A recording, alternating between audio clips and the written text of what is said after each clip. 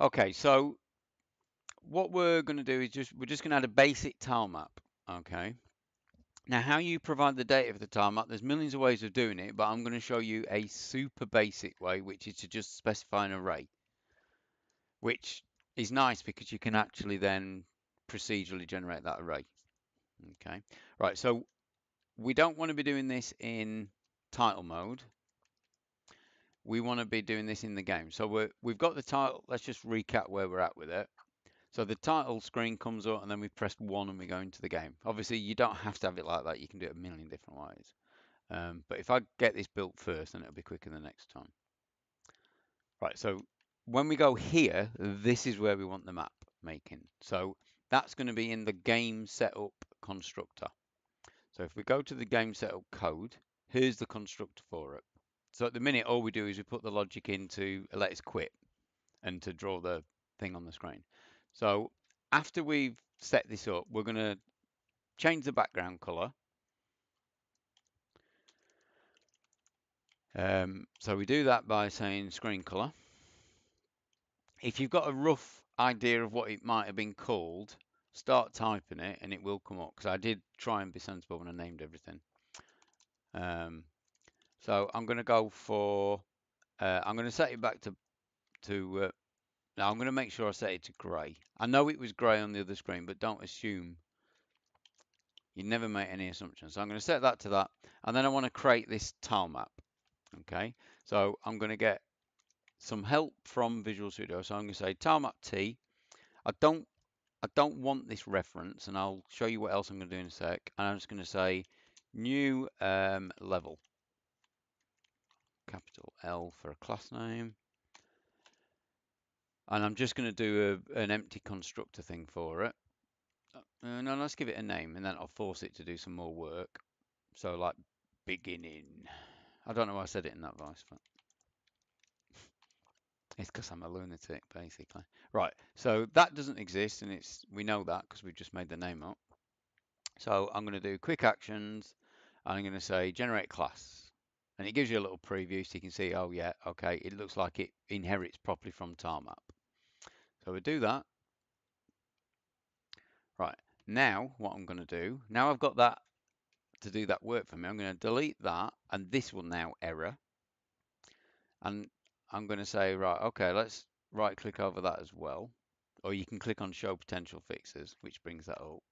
And I'm going to generate the field. So it'll make me a reference to it up here. T's a really poor name. So if we ever want to rename something, rename it where it's defined. So if I call this active level or something like that,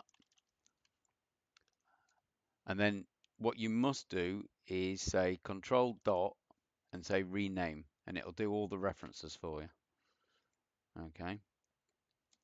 That's the best way of doing it. Right, so let's go to this level code. It's going to have problems because it's only included the game engine and we want loads of other stuff in there. Otherwise, we won't be able to start typing things in. So we're just going to say, right, okay, let's take all these other things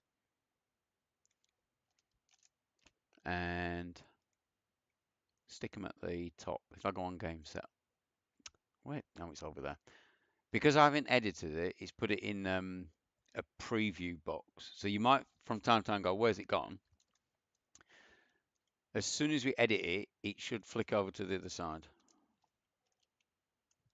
And it's now anchored Okay, but you can always just, if anything ever goes, you lose all your windows, remember, let's do a save. Lose all your windows, you've only got a, and you lose Solution Explorer and Team Explorer and all these other cruddy things. I didn't want those on anyway. Just got to go back to the view menu and pull them up. Right, and then just load them up again. You haven't lost them, they're just not open. Right, okay, so a tile map. Tilemap is basically a specific drawing system that expects things in a grid. Um, so the way that I, the coding for this goes, I can take efficiencies into account when I'm drawing that grid. So it, you can draw quite big things made out of lots of bits quite quick. And it's got advantages that they're all fixed so you can scroll them around and mess about. Okay, so in the constructor, what we're we've got to do is we, the first thing we've got to do is add it to the manager of the tile maps, which is the tile map manager. So we say add this, just like you do with the sprite. So we're just saying, right, you've got a reference to this now. You know it exists. When you get asked to draw stuff, you've got something to draw. Okay. We've got to set up the size of the map. So I can't remember what it's called, so I'm going to put this dot so I get all the time maps, and I think it's set map or something like that. Set map. I think it's set map.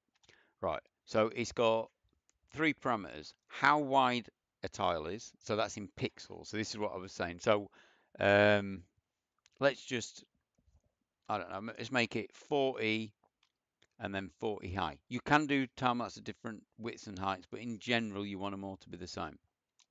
Then you have to provide an array. And you can see it's uh, an array of integers. A tile map is just basically numbers, tile numbers. Okay, so I haven't got that map yet. So what I'm going to say is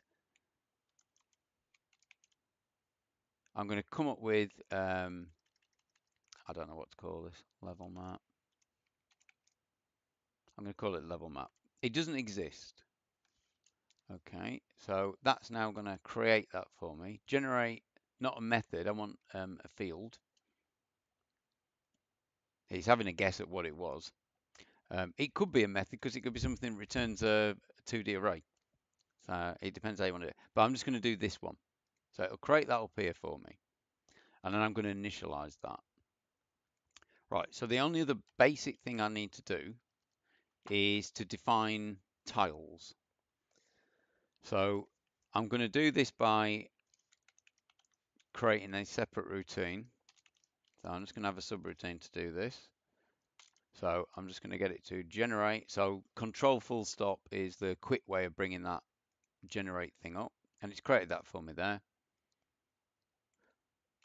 And I think it's called tile list. my tile list, there it is. So this, if you want to know what data type something, just float your mouse back over. So this is a, a linked list of tiles. Okay, so what I'm going to do is I'm going to create that linked list um, and I can do it using an initializer and you'll see that I do the array the same way. So I'm going to say new tile there are loads of ways of creating tiles. You can make an empty one, but we want to specify um, a texture. I wish it wouldn't jump around like that. We're going to specify a texture. Let's jump. Where's it going over there? Where's it going over there?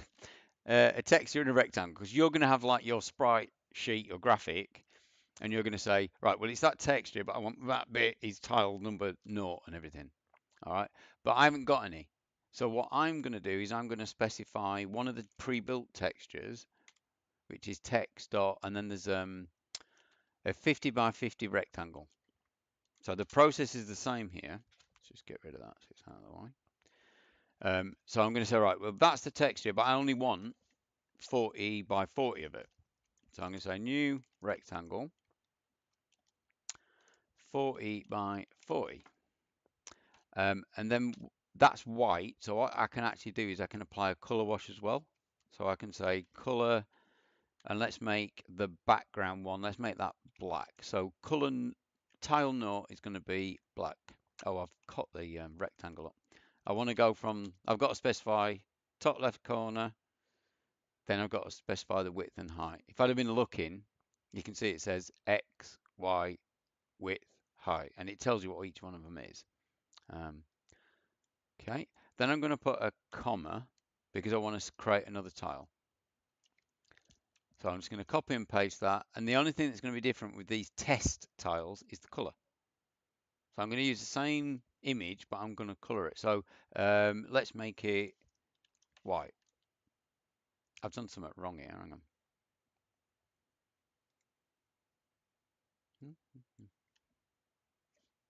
Oh, because I haven't done new list of tile. Don't know that. Okay. I said I couldn't remember anything. Um, right, so that's created two tiles. So I can use number zero. And what I um, try and get the students to do is to just put a comment at the end of each one of these lines and say, well, that's that's actually zero. When you know what zero represents, so if that's like floor or back or wall, so I'm going to call that, I'm just going to call that floor. It depends what your tile map represents. If it's an overhead maze, is yours an overhead one? Yeah, it is. You're looking down, aren't you? Yeah. So yeah, tiles are going to be floors or walls and doors or whatever they are. So this is going to be like a, a wall. So just just for my reference, and what you can do is make some constants. So I'm going to say constant floor equals zero. Oh, got to tell it it's an integer. I haven't done any C sharp for ages. Um, wall equals one. So I can use those values, but I won't I won't do that for now. Right, so what I'm going to do is I'm going to define this level map.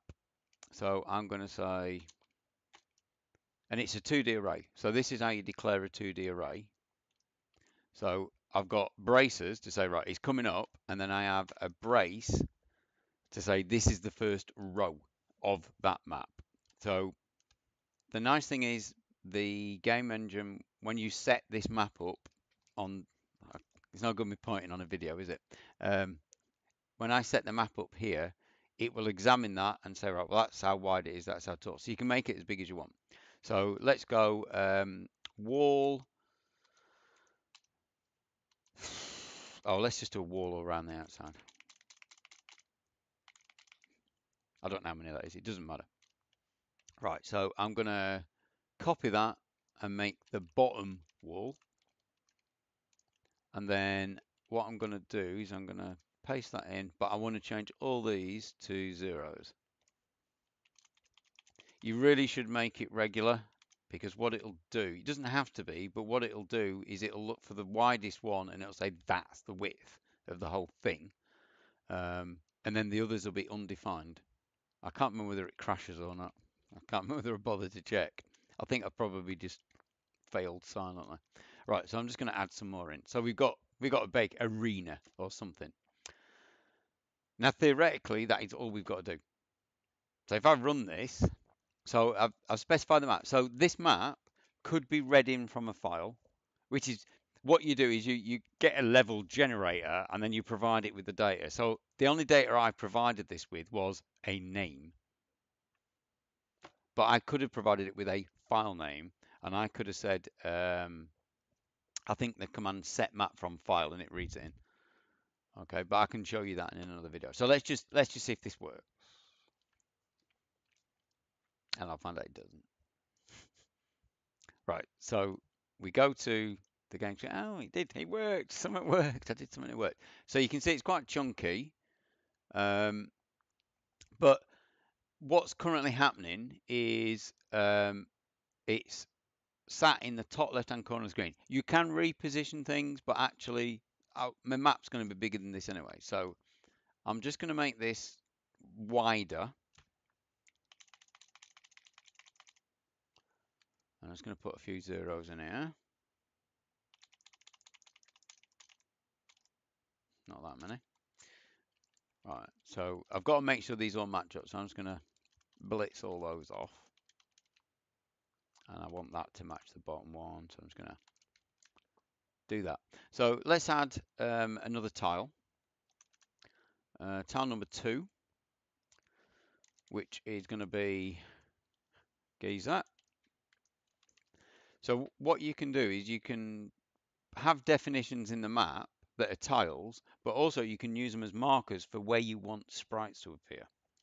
So that's what I'm gonna, so we'll have a geezer and we'll have a bloke. So three is going to be a bloke. I should have kept that bloke I made the other day. But don't okay, okay. So we're going to have a geezer and a bloke. All right. So the geezer is going to be cyan because that's a disgusting colour.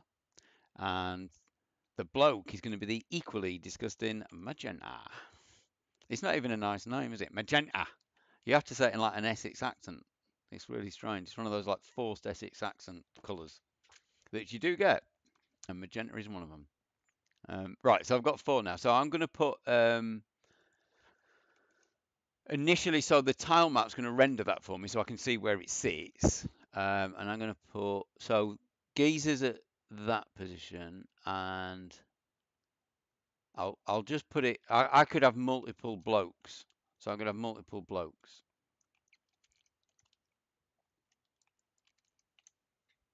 Right, let's run that. So what's nice is you can get some up. You see, you, if you've got a layout and you're you're playing with a, some sketches and you're like, what's it look like?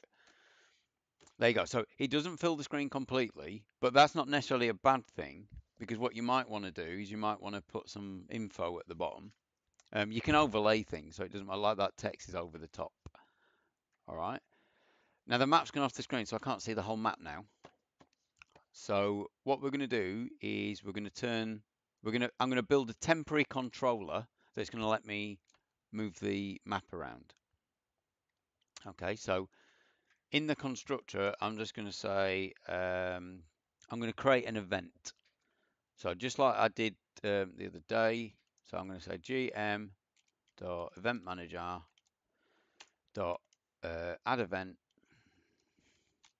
Uh, I'm gonna dummy controller. So you might want things like this when you like debugging and you so you don't want to the key thing to this project is that you don't start building loads of things at once. You build one thing, test it, and then you can document, do all the documentation. So I've tried this, that was a bit messed up, I had to rejig this. Okay, so it's important that we like say, right, well, some of the code that we write is just going to be for testing purposes. So we're going to say new event, and this is an equivalent. Uh, and we're going to run it at the maximum rate. I don't know. I don't know why mine's not coming up with a picker properly. That used to be an old bug that. Uh, so we want maximum rate. So the first number is the speed. So it, it tells you that in this. So you've got like number of seconds or fraction of second, what debug name we want. So this is our debug tile scroll. And then, so we just want um, debugging controls. I'm going to call it debug controls. I'll put my semicolon at the end. Right, so I've now got two things that don't exist. So it's got two errors. So let's right click over that and say quick actions and generate the field. So it's creating my controller for me. That's important because I'll need to delete it when I kill the tilemap. I now need to create this method. So I'm going to generate that method and it's created for me. So this is just going to have some key code. The other thing I need to do, so I'm going to put some key code in. I'm just going to say gm dot engine manager, and I'm not going to scroll the tile map. What I'm actually going to do is I'm going to move the viewport. But I've got to do one more thing before that'll work properly. But I want to show you it so when you do it yourself, you go, it's not working, so that you've got some idea. Right, so you get to the default viewport by saying engine manager.view, and then you can access the X position. So where is the viewport centered? Okay, so I'm just going to say, oh, I wanted the input manager. Something that on the next line. I want the input manager. So I'm just going to do, when I do the left and right keys, that's all I'm going to do. So key down, keys dot left. Oh, let's do right first because that's what I want to do. So right. And then what I'm going to do is I'm going to run this code. And I'm going to say plus equals, and again, we want it to be pixels per second. So we're just going to, and you'll get used to doing this, event manager dot delta. So you just say take the delta. It's the same thing if you're messing about with Unity. You have to ask for the delta all the time to get any proper movement. And let's scroll it at 100 pixels per second because that's a, a reasonable amount of time. So we'll test it, this works. So let's run that. And it shouldn't work. So I'm going to go to the game. So I'm pressing the key and it's not doing anything. So I think, right, okay, well, did I write the code properly? That looks reasonable. We'll probably find out it's not in a minute. Um, So what I'm going to do is I'm going to put some debug information on. So I'm just going to say, right, while I'm in here, I'm, let's turn the debugger on. So let's do gm.enginemanager.debug. Now I'm messing about with tilemap, so I want to know about the tilemap stuff. So let's have debug.tilemap.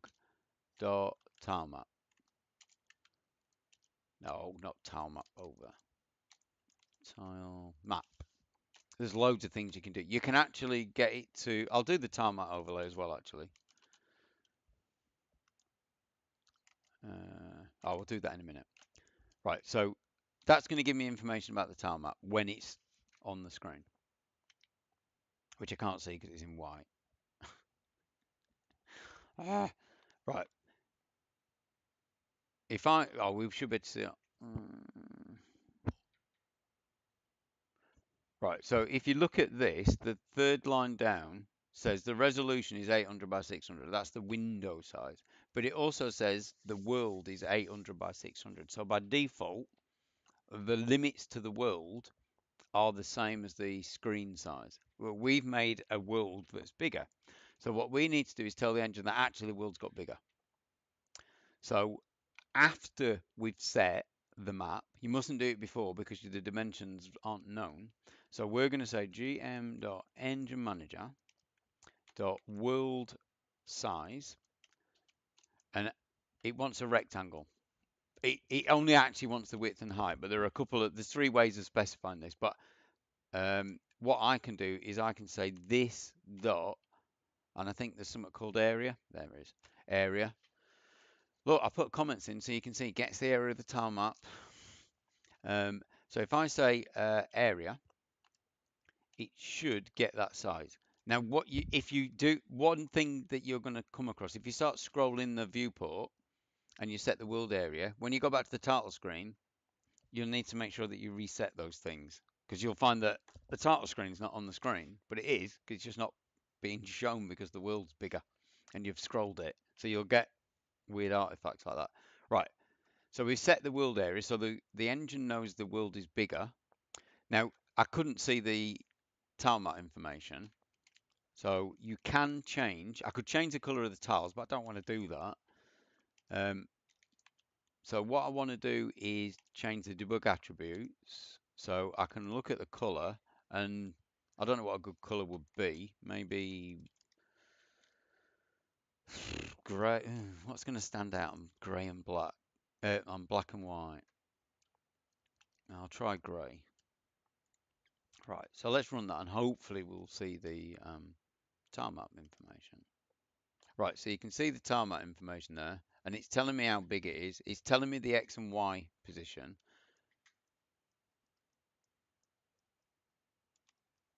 Oh, it wasn't that much wider than the world. By default, it clamps. So you can't move the view outside of the world. I need to put the left key in. I thought I'd made it wider than that. but Um, so let's just copy paste that and change it to left. So this is just going to help you looking at the layout of everything. So I'll just, yeah, it's not very wide. Right, so if we put on, so that's telling me all the tilemap stuff, but I actually want the view information. So I need debug, so I can see that it is moving. Um, and I think all of that, oh, I've got viewer. I can put resin world on. Let's put um, viewer on as well.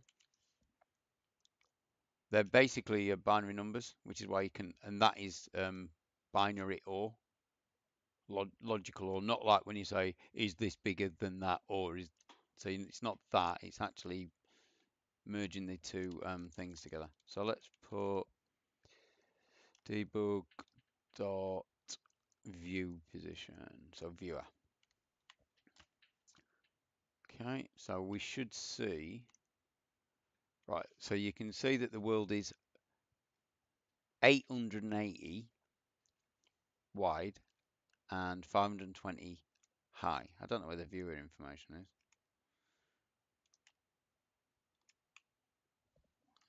Where there is. Um, right, if you want to be able to scroll further in the engine, um, so when we set that, we can actually engine manager dot view uh, dot clamp equals false. Sometimes you want to do this. So if we do that, we're, take, we're taking the clamps off. And actually, now I can just keep going. So the tilemap stops rendering. It's quite weird that when you get the white on the white. You can do weird special effects by doing things like that. You could do like a white white bar or something if you scrolled like one simple time up across. Yeah, so it's not clamping now. I'm not doing up and down because I didn't bother putting any up and down keys, but obviously that works exactly the same.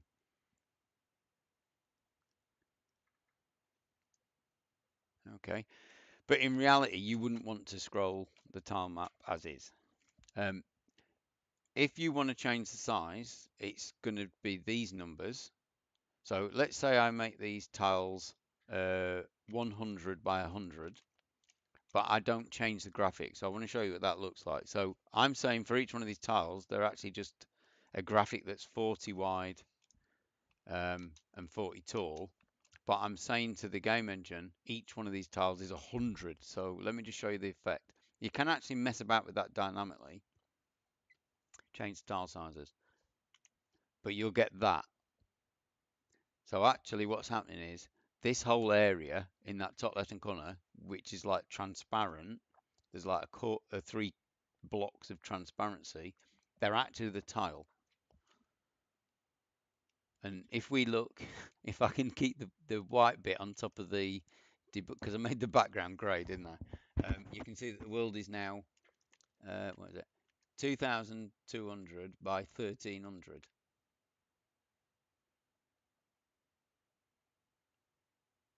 But obviously, when you start doing your collision detection, uh, the tile is the whole area.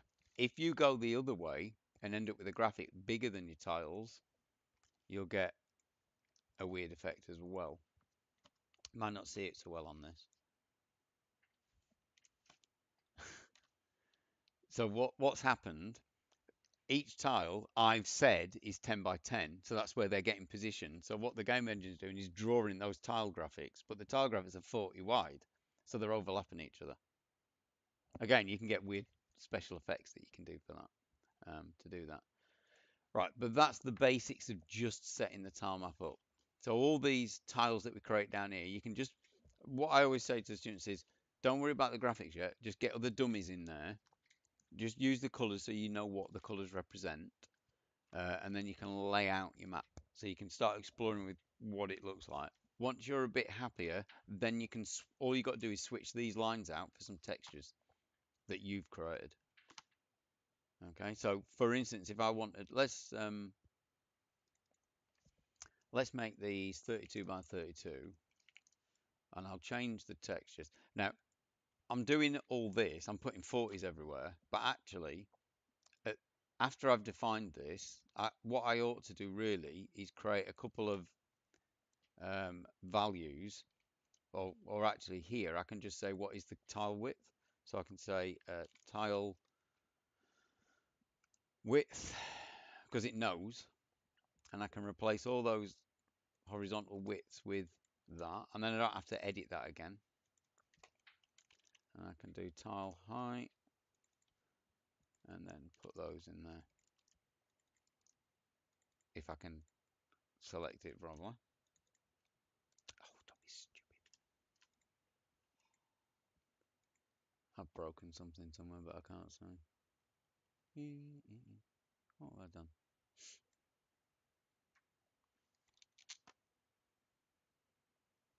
Oh, I deleted the, um, God, that was hard to spot deleted the parentheses now. Cool. Yeah.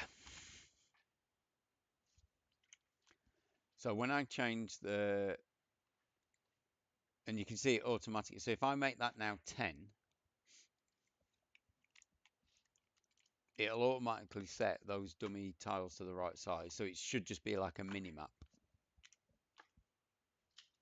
And it's dead easy to make a mini map. I built a system to do it. You give it a tile map and it like goes, right, okay, then I'll, how much do you want to shrink it by? And it gives you another tile map that you can move. And if you do a, a live link, you can like update it and things like that. Um, right, so yeah, if I want to change that to be a different graphic, all I've got to do, and I'll just use a different texture that's defined, I'll use the circle 32 by 32 for some of them. Let's do it for the geezer. Let's put the rectangle back. So this might make it easier for me to um, pick up my dummy sprite locations to start with. Okay. Inter why is it gone grey?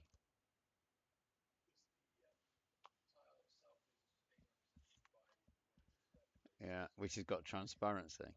Yeah. So it might be that what you say, well, you know what, that looks a bit awful. Let's make the background black and then you won't see that. It doesn't matter because you're just doing layout tests. But this, this is important. It's, it's, it's really important that you don't try and do everything all at once because you can't. You've got to do like one little element, get that working. Right, that works. It's rendering my background.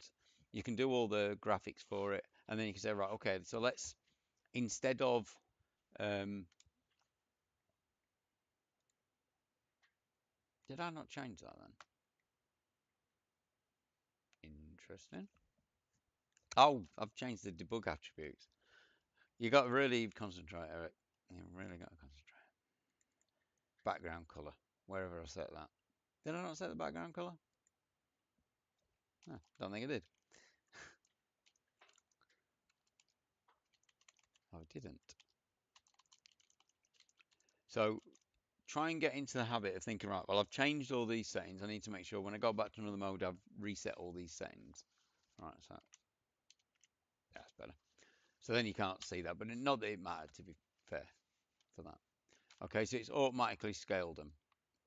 Um, it won't be able to go above what they were, but at least it can do. If I did that 16 by 16, we'd end up with like quarters for those two circles.